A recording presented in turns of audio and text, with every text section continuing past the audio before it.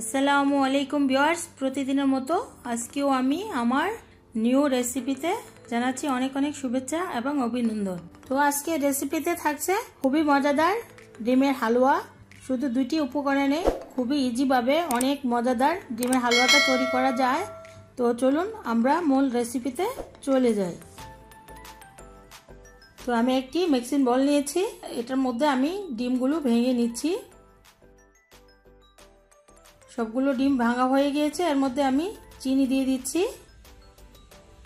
চিনি দিয়ে একটি হ্যান্ড বিটারের সাহায্যে আমি ডিম এবং চিনিটাকে ফেটে নিচ্ছি।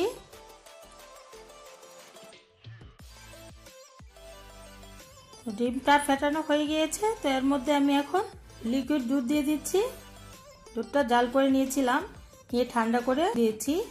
এর মধ্যে অল্প লবণ দিয়েছি। ফুড কালার ভ্যানিলা এসেন্স দিয়ে এখন আবার একটু হ্যান্ডপিটের সাহায্যে মিক্স করে নিচ্ছি।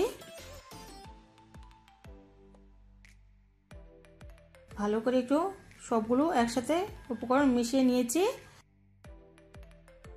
যে হাঁড়িতে আমি ডিমের হালুয়াটা করব, ওর মধ্যে ঘি দিয়েছি এবং এলাচি দিয়েছি, দিয়ে যখন ঘিটা গরম হয়ে আসছে, এর মধ্যে আমি ডিমের মিশ্রণটা দিয়ে হ্যান্ড বিটার দিয়ে আমি অনবরত নেড়ে যাচ্ছি যেন তলা বেঁধে না যায়।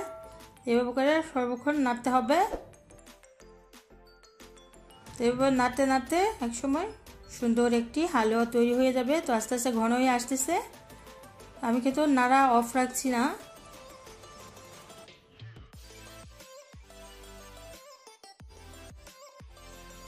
তো দেখুন কি সুন্দর মিহিদানা হয়ে আসতেছে।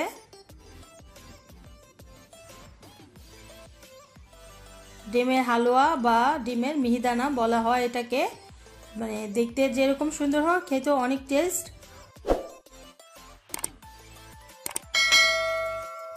আস্তে আস্তে নাড়তে নাড়তে পানিটাও টেনে আসতেছে। যতক্ষণ পর্যন্ত পানিটা থাকবে ততক্ষণ চুলাতে রেখে এভাবে নাড়ার মধ্যেই থাকতে হবে। তার মধ্যে আমি কিশমিশ দিয়ে দিচ্ছি। কাজু বাদাম, পেস্তা বাদাম দিয়ে এখন আমি একটা নাড়ুনি দিয়ে নেড়ে চেড়ে দিচ্ছি। এই হালুয়াটা এত মজা হয় যে খুবই বলার বাইরে আপনারা যদি হঠাৎ করে মানে কোনো গেস্ট এসে যায় মানে এটা অল্প সময়ের মধ্যে আপনারা তৈরি করে পরিবেশন করতে পারবেন।